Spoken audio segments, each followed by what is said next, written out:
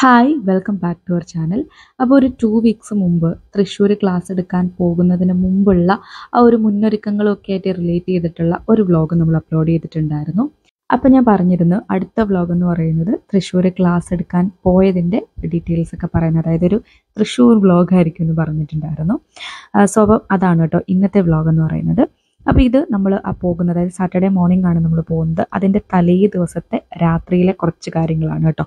അതായത് ഞാൻ ഓൾറെഡി കഴിഞ്ഞ വീഡിയോയിൽ പറഞ്ഞിട്ടുണ്ടായിരുന്നു സാധനങ്ങളൊക്കെ ഏകദേശം ഒരു ഒരു ദിവസം മുമ്പ് നമ്മൾ പാക്ക് ചെയ്ത് വെച്ചിട്ടുണ്ടായിരുന്നു. കാര്യം തലേ ദിവസം പെട്ടെന്ന് എന്തെങ്കിലും എമർജൻസി അല്ലെങ്കിൽ എന്തെങ്കിലും ഒരു കാര്യം കയറി വന്നിട്ടുണ്ടെങ്കിൽ പിന്നെ നമുക്ക് ആകെ മൊത്തം ടൈറ്റ് ആവും. അപ്പോൾ അതുകൊണ്ട് മുമ്പേ ഞാൻ എല്ലാം പാക്ക് ചെയ്ത് വെച്ചിട്ടുണ്ടായിരുന്നു. അപ്പോൾ ജസ്റ്റ് ഈ ഒരു ബാഗിലേക്ക് ഇതൊന്ന് മാറ്റിയാൽ മാത്രം മതി. പിന്നെ കുറച്ച് അത്യാവശ്യം ഇപ്പം നമ്മുടെ മേക്കപ്പ് സെറ്റ് അങ്ങനത്തെ നമ്മുടെ ഹാൻഡ് ബാഗിൽ സൂക്ഷിക്കേണ്ട കാര്യങ്ങളൊക്കെ ഉണ്ടല്ലോ. അത്യാവശ്യം ഇടയ്ക്കിടയ്ക്ക് ആവശ്യം വരുന്നത്. അപ്പോൾ അതും മാത്രം ബാഗിലേക്ക് എടുത്ത് വെക്കാനുണ്ടായിരുന്നു. അപ്പോൾ ബാഗിലേക്ക് ഞാൻ ആ ഒരു മേക്കപ്പ് സെറ്റ് വെക്കുന്നുണ്ട്. അതേപോലെ അതിന്റെ കൂടെ വാവയ്ക്ക് വേണ്ടിയിട്ടുള്ള കുറച്ച് വെറ്റ് ടിഷ്യൂ ഒക്കെ കൂടി വെക്കുന്നുണ്ട്. അപ്പോൾ വെറ്റ് ടിഷ്യൂ എന്റെ കയ്യിൽ രണ്ട് പാക്കറ്റ് ഉണ്ട്. അതിൽ ഒരെണ്ണം ഞാൻ എന്റെ ഹാൻഡ് ബാഗിലും വെക്കുന്നുണ്ട്. അതേപോലെ ഒരെണ്ണം വാവയുടെ ആ ഒരു ഡ്രസ്സൊക്കെയുള്ള ആ ഒരു ബാഗിലും വെക്കുന്നുണ്ട്. അപ്പോൾ നമുക്ക് റൂമിൽ ചെന്നിട്ട് എടുക്കാനും ഇനി അത്യാവശ്യം ഹാൻഡ് ബാഗിലുള്ളത് വേണമെങ്കിൽ അത്യാവശ്യം വേണ്ടി വന്നാൽ അതും എടുക്കാമല്ലോ പിന്നെ അതേപോലെ ഇതുപോലെ ഒരു ഓർഗനൈസർ ബാഗ് ഞാൻ വാങ്ങിച്ചിട്ടുണ്ടായിരുന്നു. മുമ്പത്തെ ഒരു വീഡിയോയിൽ പറഞ്ഞിട്ടുണ്ട്. മീഷോയിൽ നിന്ന് ഞാൻ പർച്ചേസ് ചെയ്ത വളരെ യൂസ്ഫുൾ ആയിട്ടുള്ള ഒരു ഐറ്റമാണ് കേട്ടോ. വാവയുടെ മെഡിസിൻ ഒക്കെ വെക്കാൻ വേണ്ടിയിട്ടും ഒരു ബാഗ് ഞാൻ അതിന്റെ കൂട്ടത്തിൽ ഏറ്റവും വലുത് ഒരെണ്ണം എടുത്തിട്ടുണ്ടായിരുന്നു. പിന്നെ അതേപോലെ നമ്മുടെ അത്യാവശ്യം മേക്കപ്പിനുള്ള സാധനങ്ങളൊക്കെ വരുന്ന കാര്യങ്ങളൊക്കെ ഇട്ടിട്ട് ഒരു സെക്കൻഡ് ബാഗും ഉണ്ടായിരുന്നു. ഓക്കെ അപ്പോൾ അങ്ങനെ ഏകദേശം ആ ഒരു പാക്കിംഗ് ഒക്കെ കഴിഞ്ഞു. ഇനി കാണിക്കുന്നത് പിറ്റേ ദിവസമാണ് കേട്ടോ. അതായത് സാറ്റർഡേ നമ്മൾ പോകുന്ന അന്നാണ് നാല് മണി ആയിട്ടുണ്ട് കേട്ടോ. നമ്മളൊരു അഞ്ചിന് പോകാമെന്നാണ് വിചാരിക്കുന്നത്. ഞാനൊരു മൂന്നരയൊക്കെ കഴിഞ്ഞപ്പോഴത്തേക്കും എണീറ്റായിരുന്നു. അങ്ങനെ പോകാനുള്ള സാധനങ്ങളൊക്കെ കാറിലൊക്കെ എടുത്തു വെച്ചു. റെഡി ആയിട്ടൊക്കെ വന്നു. അപ്പം ഏകദേശം ഒരു അഞ്ചാവുന്നേ ഉണ്ടായിരുന്നുള്ളൂ. എന്തായാലും കുറച്ച് നേരത്തെ ഇറങ്ങിയേക്കാമെന്ന് വിചാരിച്ചു. ആദ്യം നമ്മൾ പ്ലാൻ ചെയ്ത് ഒരു ആറിന് പോകാമെന്നൊക്കെയായിരുന്നു പക്ഷേ ആ സമയത്ത് ഇനിയിപ്പം നമ്മൾ എറണാകുളം ഒക്കെ ചെല്ലുന്ന സമയത്ത് നല്ല ബ്ലോക്ക് ആണെങ്കിൽ വീണ്ടും നമ്മൾ അവിടെ എത്താൻ ലേറ്റ് ആവും. അപ്പോൾ അതുകൊണ്ട് ഞങ്ങൾ വിചാരിച്ചു അഞ്ചിന് തന്നെ പോകാമെന്ന് വിചാരിച്ചു.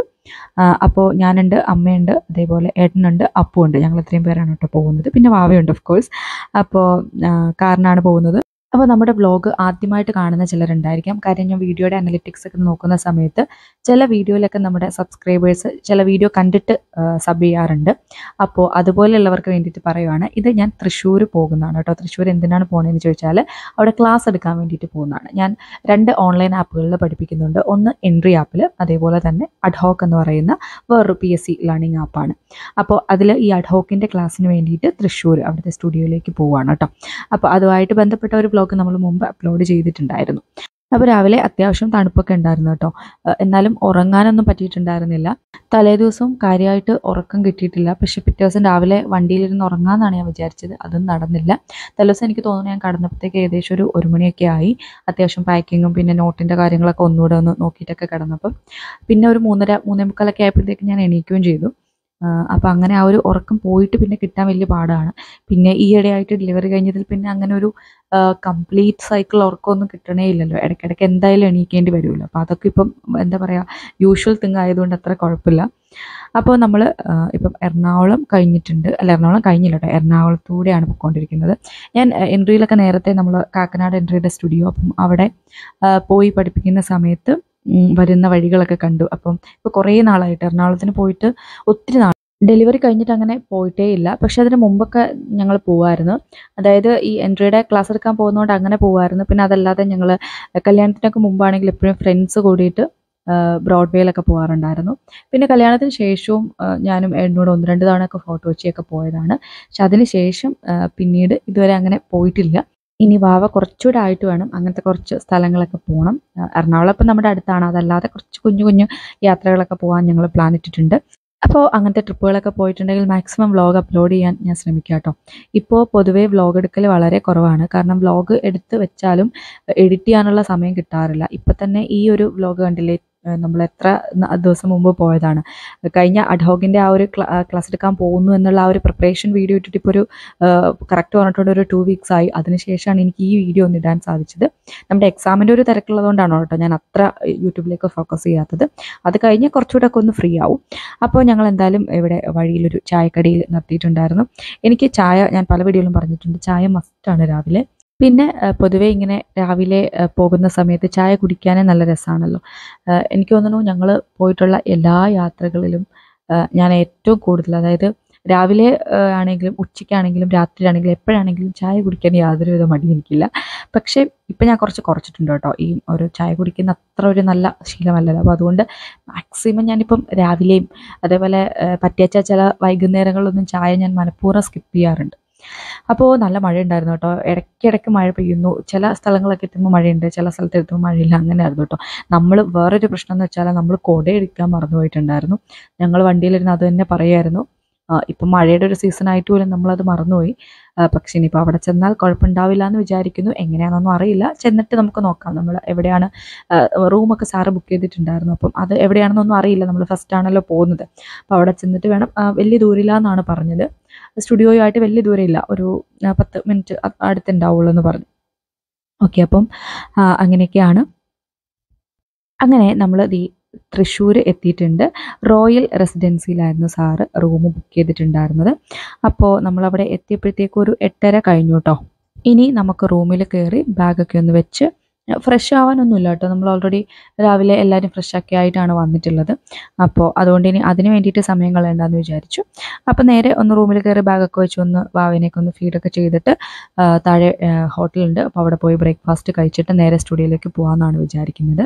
അപ്പോൾ അവിടുന്ന് സ്റ്റുഡിയോയുടെ ലൊക്കേഷൻ സാർ അയച്ചു തന്നിട്ടുണ്ടായിരുന്നു. അങ്ങോട്ടേക്ക് ഏകദേശം ഒരു പത്ത് മിനിറ്റ് വരുന്നുള്ളൂ കേട്ടോ പത്ത് മിനിറ്റ് അടുത്തേ വരുന്നുള്ളൂ. അപ്പോൾ ഞാൻ അവനെ ഫീഡ് ചെയ്തിട്ടുണ്ടായിരുന്നു. പിന്നെ അവന് കുറച്ച് പാൽ ബ്രസ്റ്റ് പമ്പ് യൂസ് ചെയ്ത് എക്സ്പ്രസ് ചെയ്തും വെച്ചിട്ടുണ്ടായിരുന്നു. അങ്ങനെ ഞങ്ങൾ എല്ലാവരും കൂടെ സ്റ്റുഡിയോയിലേക്ക് പോയിട്ടോ അതിനുശേഷം എന്നെ അവിടെ ആക്കിയിട്ട് അവർ കുറച്ച് കഴിഞ്ഞപ്പോഴത്തേക്കും തിരിച്ച് റൂമിലേക്ക് വന്ന് പിന്നെ ഉച്ചയാകുമ്പോഴത്തേക്ക് എന്നെ കൊണ്ടുപോകാൻ വന്നാൽ മതി എന്നുള്ള രീതിയിൽ ഞാൻ പറഞ്ഞിട്ടുണ്ടായിരുന്നു. അല്ലെങ്കിൽ അവർ വെറുതെ അവിടെ ഇരുന്ന് ബോറടിക്കണ്ടല്ലോ റൂമിലാണെങ്കിൽ പോയി കുറച്ച് നേരം റെസ്റ്റ് ഒക്കെ എടുക്കാമല്ലോ എന്ന് വിചാരിച്ചു.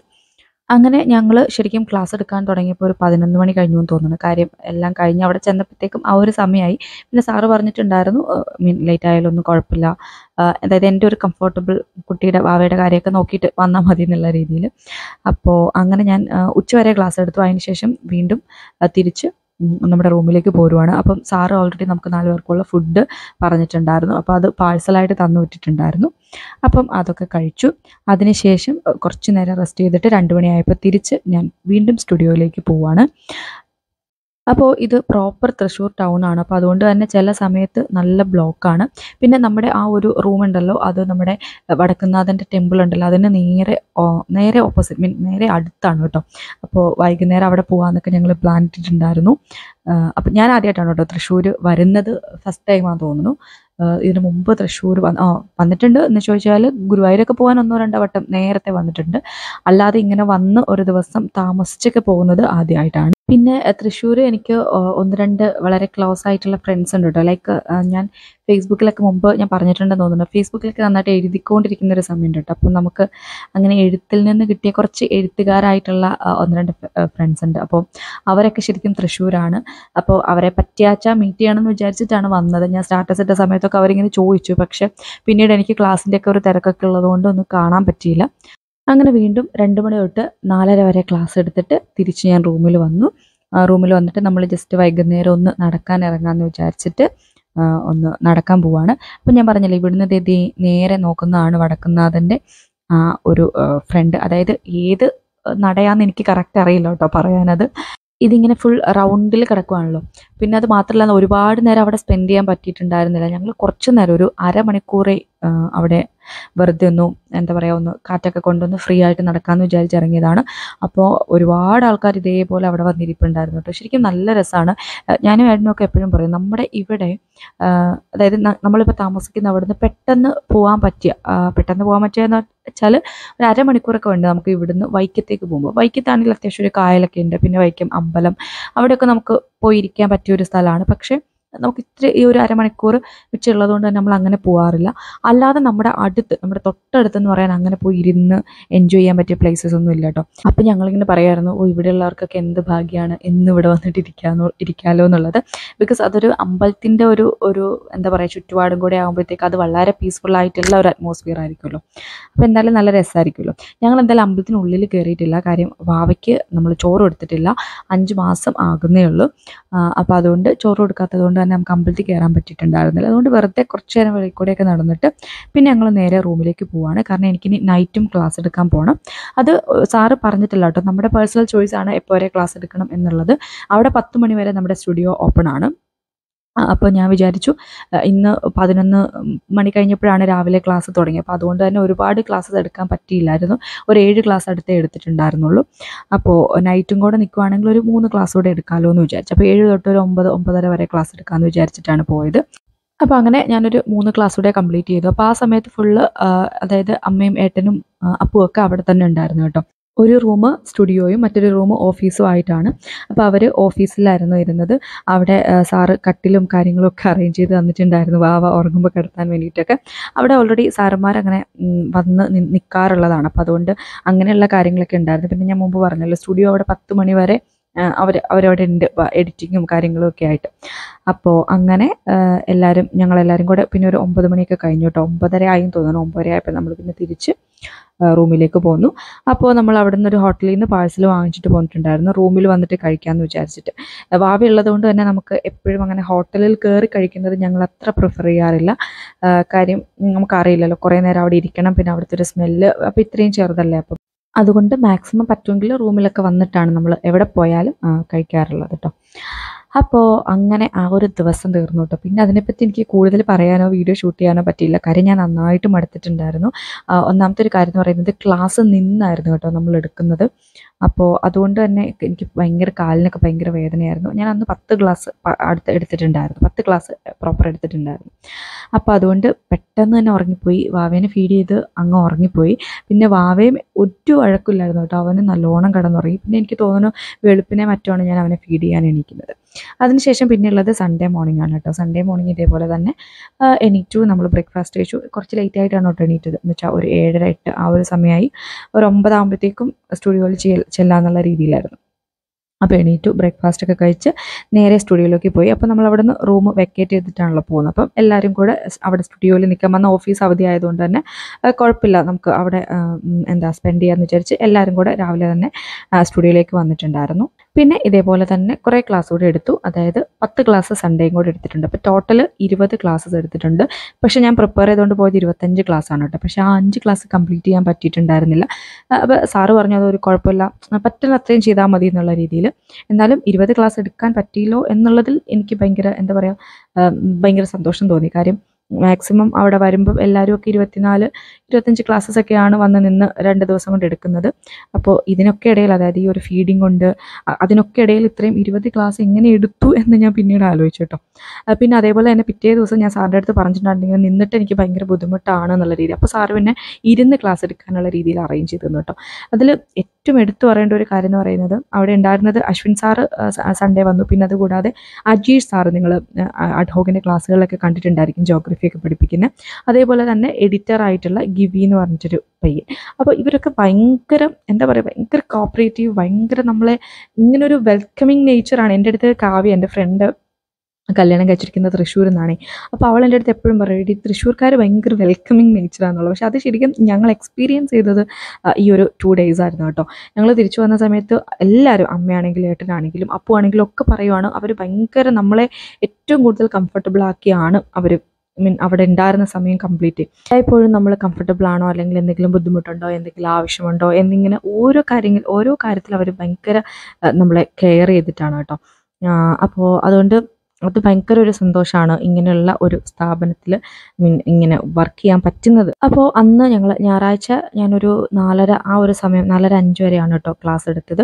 ഇരുപത് ക്ലാസ് പ്ലസ് എനിക്ക് ഒരു ക്ലാസ് റീഷൂട്ട് വന്നു. കാര്യം മൈക്കിന് എന്തോ പ്രശ്നമായിട്ട് ആ ക്ലാസ്സിൽ പറഞ്ഞ കാര്യങ്ങൾ ക്ലിയർ ആയിട്ട് കിട്ടിയിട്ടുണ്ടായിരുന്നില്ല. അപ്പോൾ അതൊന്നുകൂടെ റീഷൂട്ട് ചെയ്യേണ്ടി വന്നു.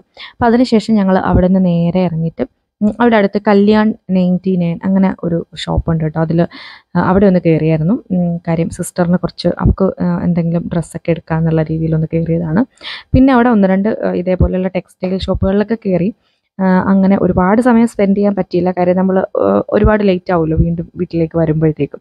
അപ്പം അതുകൊണ്ട് കുറച്ച് സമയമൊക്കെ അവിടെ നിന്ന് സ്പെൻഡ് ചെയ്തിട്ട് എനിക്ക് തോന്നുന്നു ഒരു ആറര ഒക്കെ ആയപ്പോഴത്തേക്കും ഞങ്ങൾ ആറര ഏഴ് മണിയൊക്കെ ആയപ്പോഴത്തേക്കും ഞങ്ങൾ തിരിച്ചു.